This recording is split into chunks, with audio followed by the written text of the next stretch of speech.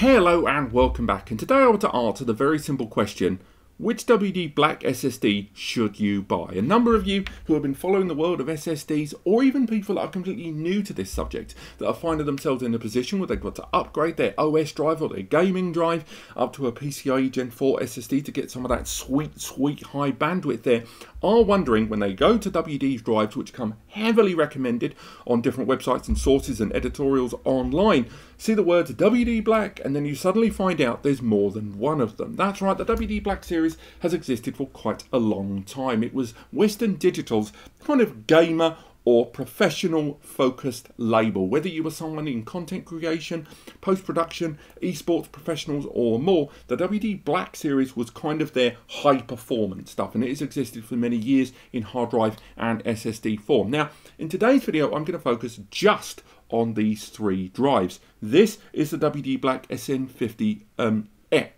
this is the WD Black SN850 on its own, and this is the WD Black SN770. Now, why am I focusing on these three? Although there are other SSDs in the market, well, because all the other SSDs that we talked about before that, such as the um, SN750, which is the PCIe Gen 3 generation, or the WD Black hard drive, they are kind of previous gen, or even the gen before that. These are current. These are basically the most high performance WD Black SSDs in the market right now. Despite that, as you can see though, at just a casual glance, they look really similar in terms of the retail packaging between them.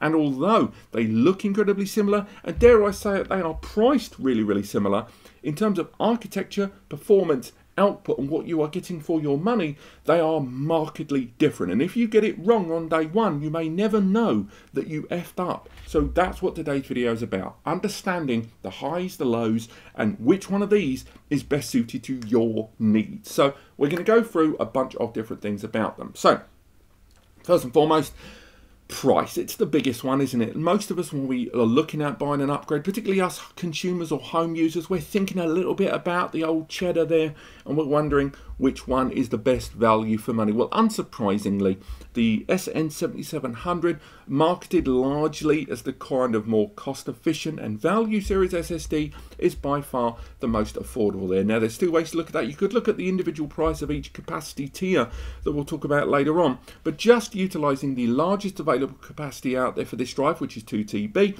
we can see that this drive has, utilizing WD's own website, a price point of around $134 per terabyte. Now, to put that into a little bit of perspective, this one in the middle, the oldest drive of the three, the SN850, arrives with a $146 per terabyte level there. So again, not a tremendous difference. A little over 10 to $12 per terabyte makes you think, why on earth would I bother with this with such a small increase per terabyte? Well, first and foremost, bear in mind that is an average based on the largest capacity. And if you go for a single terabyte, the prices do differ quite wildly. But two, the architecture of these drives is actually quite different, and sustained utilization and performance will make a big difference in terms of efficiency and power consumption, something I'll touch on later on. But when we move to this end of the table with the newest drive of the three, the SN850X, it should be mentioned that that drive, the price point, because it's the newest and arrives with the largest capacity of the whole range, available in up to 4 TB, the price point and the cha-ching per terabyte actually a little bit more harsh, arriving at $174 per terabyte. That is a big old jump from that 134 at the end of the table there. So what exactly is this drive doing charging that much more? Other than the fact that it's the newest, why on earth, uh, how on earth I should say, can it justify that price point? Well, in a few small but in ultimately I think meaningful ways.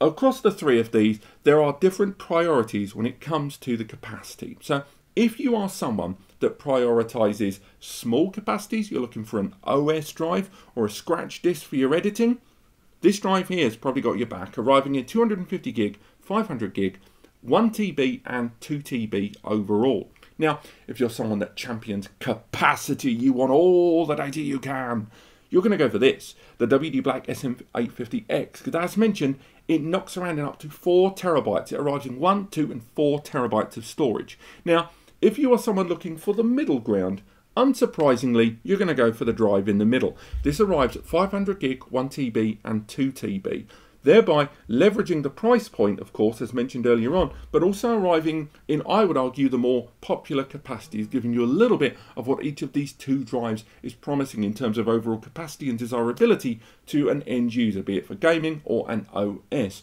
But more above that, that price per terabyte isn't the only contributing factor to their hardware environment and how they achieve that price point. Now, all three of them take advantage of a SanDisk in-house design controller there, the WD Black G2. Now, at the moment, at the time of recording, the um, NAND and controller architecture of this latest generation drive has yet to be completely clarified, something we're doing there in the background and should have been updated in the um, article below, linked over on NAS Compares with our full review.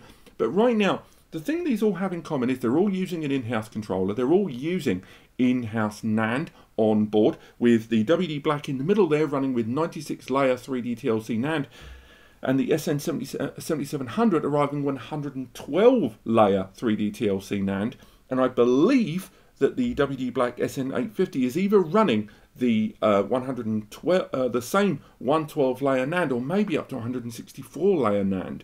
We'll have to double check that and again check out the link in the description or the text bubbles on screen. But another big difference between these comes down to efficiency. Because one of the reasons that this drive exists, the SN770, is because it is DRAMless. Now, what that means is, when you look at an SSD, it's not unlike a computer, insofar as it has a very familiar architecture. The controller is kind of the brain. In a computer, that would be the CPU it also has the NAND. That's where your data actually lives. That would be kind of the hard drives of a computer on its own. But alongside that, SSDs have an area known as the memory there on board, the DRAM. And that is basically kind of like the spare hands, the juggling area of the SSD to work out its tables and basically do its job to help process that data. Now, that can increase the price point. It can also um, affect how well the drive uh, can work because the more memory you've got, the more scratch area you can deal with, but it also increases the power consumption and more. Now the SN770 is DRAM-less, it has no memory on board. It takes advantage of something called HMB, Host Memory Buffer. It utilizes a small area of the onboard client computer's own memory and storage to get the job done. So the drive is more affordable because it doesn't have to have the extra element of memory on board, but also utilizes less power. It can run a little hotter and more sustained operations will over saturate the drive earlier than the other two drives, but there's still no denying that the reason that drive is a little bit more affordable is due to the absence of that memory on board. And for a number of users that are running it for an OS, a number of users that are using it for general editing, that's going to be great. Gamers, slightly less so. I would recommend if you're a gamer to certainly look at this end of the table, and if you're a PS5 gamer, certainly look at the middle of the table. But we'll touch on that in just a moment because another big difference between these three drives is performance. Let's be realistic. If you were looking at an SSD in the first place, again, for your whether it's for your OS, for your editing, your content creation, or your gaming, performance is a big, big, big contributing factor for you there. And Across this table, you'll be unsurprised to hear that the more you go in that direction across the table, the higher the performance. Let's start with the lowest one. The SN770 released in spring 2022 arrives with a maximum, if you utilise the highest performance on the 2TB model, uh, 5,150 maximum megabytes per second sequential read and 4,900 megabytes per second sequential write. Now, bear in mind, this is a PCIe Gen 4 SSD. PCIe Gen 4 times 4 M2s have a maximum 8,000 megabytes per second bandwidth. That's how wide the road is that they can saturate and fill. No drive can fully saturate that for a number of reasons due to the calculation between megabytes and gigabytes, but also just the sheer backwards and forwards of that bandwidth. But we can get really, really close.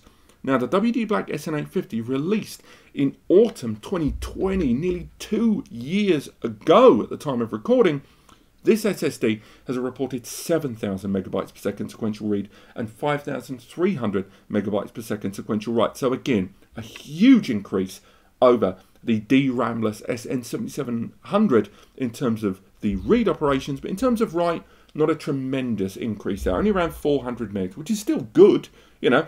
That's faster than an individual hard drive's worth of difference, but still, the write performance on this is a little lower. That's why a lot of users, WD themselves, and indeed Mark Cerny, champion this drive for PS5 utilization because the write performance is what PS5 kind of prioritizes. The uh, sorry, the read performance is what PS5 prioritizes. The write slightly less so, and a lot of that to do with the more closed nature of PS5 and how data is encrypted, unpacked, repacked, and compressed during operations inside the PS5 render a bottleneck where any high write performance options that an SSD could provide are fruitless because the system itself will bottleneck it there in the middle. So read operations is where it's at, and therefore that 7000 megs on the SN850 uh, here on the WD Black in the middle is great for you PS5 players. But if we move to that end of the table with the latest SSD, this is where we're getting the best of all worlds. And this is why content creators, post production, esports users, and particularly PC gamers are going to opt for this drive overall. Because it has a reported 7,300 megabytes per second, which is already an enormous leap off of this, although an arguable small leap over this but it's the write operations that leap up substantially there.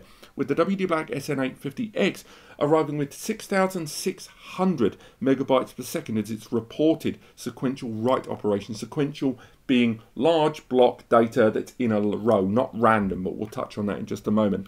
Consequently, clearly it's the highest performing drive across the three of them, and although the um, read operation isn't a marketed jump from this one, the write operation is substantial. And therefore, in terms of performance, unsurprisingly, this drive is just absolutely flooring both of these drives. Only so much so on this one, but definitely smashing this one straight out of the park.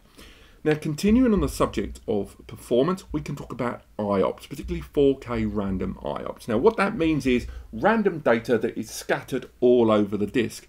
And a random 4K IOP measurement is about how many of the smallest operation can be conducted. Now, uh, uh, per second. Now, the IOPS rating across all of these is actually pretty similar on these two, it has to be said. Yes, unsurprisingly, the newest drive has the highest IOPS, but the margins of improvement aren't substantial over that of the SN850. Unsurprisingly, the more affordable one, once again due to its lack of onboard memory, that DRAMless design, means that its maximum number of random 4K tiny operations per second is noticeably lower, but still very, very high, rated in its largest capacity at 6,500, um, 6, 650,000 read IOPS and 800,000 write IOPS there. Very respectable numbers and importantly, comparable to the majority of PCIe Gen 4 SSDs in the market right now that have memory on board. So despite its lack of onboard memory, it still challenges, at least in terms of random 4K IOPS, the majority of SSDs in the market right now. Now, when it comes to the SN850, we see a tremendous leap with read IOPS at 1 million. Write IOPS slightly lower at 7,000, uh, 720,000, but still 1 million read IOPS is substantial in the extreme and certainly something to be proud of. And those running databases or larger, um, if you are a, an editor that has a huge archive of small clips and transitions and basic tables you have to go back and forth from of information, are going to feel the benefits there. But when it comes to those uh, performance in IOPS, again, this drive smashes everything. And right now, I think is the highest rated 4K random IOPS drive in the market right now. Although its read-write performance is by no means the highest in the world right now, in IOPS, I think it does win, with 1.2 million reported read 4K random IOPS and 1.1 million 4K write random IOPS. So again, substantial numbers there and this gives you some indication about why its price point is higher it's not just about the capacity it's about how it's managing to manage that much storage as fast as possible there which brings us ultimately down with all three of these drives with exactly the same durability I might add so if that was a concern they're all rated at 0.3 drive writes per day or um, 300, 600, 1200, or 12, uh, 2400 terabytes written. So durability wise, near enough identical. It comes down to who are these drives for, and that's going to be the most important bit here. Because if you're watching this, you want to know which one you should have bought. If you haven't already worked it out from everything I've said, from the performance benchmarks to their own individual strengths and weaknesses, let me make it nice and clear. If you are an esports professional, if you take your gaming seriously, if you are a content creator, if you stream regularly, and ultimately you are looking for a no holds barred drive experience for your storage that has practically no bottleneck, this is the drive for you. You're paying extra for that performance. How much is your time worth? Work it out. You'll realize that this drive is the one for you. If you are just a dedicated gamer, but more importantly, a PS5 gamer, this is the one that's going to be for you, particularly if you're someone that's looking for a deal because the WD-SN 850 is regularly on offer in different retailers as well as in and outside of Prime Day, Black Friday, Christmas sales and more. And I strongly recommend if you're a console gamer going for this drive. It did very well in the testing that we've done in the last 12 months here on the channel and I cannot recommend it enough. Also, it has official certification now from PlayStation themselves and of course Sony, so do check that out. But if you are looking for straightforward video editing on its own and you're looking for a drive that can recall tables, recall databases, and not have to worry about gaming and sustained operations and constant, this value series drive is the one for you. If you're looking for an OS drive, this is the drive for you. If value for money is what's important to you, this is the drive for you. This is the drive for people who are not looking to absolutely burn rubber. This is the drive for those of you that are looking for high-end performance, but you're not running a Xeon 12 core processor. You're not running high-end DDR5 memory, and ultimately your rig will not be able to hit these benchmarks. In those situations, this is the drive for you. But that has been understanding the difference and helping you decide which one of the new WD Black PCIe Gen 4 SSDs best suits your needs. If you've enjoyed this video, chuck like. It really helps me knowing what I'm doing right and wrong. And if you click like, I know I'm getting things right here on the channel. If you want to learn more about this subject as we compare this drive and all these drives against other SSDs in the market right now, click subscribe. We do a video every day and we cover all aspects of data storage. Use the free advice section if you need help choosing the right drive for you over on NAS Compares and use the buy links in the description if you want to go ahead and buy one of these and by using those links it costs you nothing extra and we on the channel get a little kickback from different retailers to help us make more videos. But apart from that, have yourself a lovely week and I'll see you next time.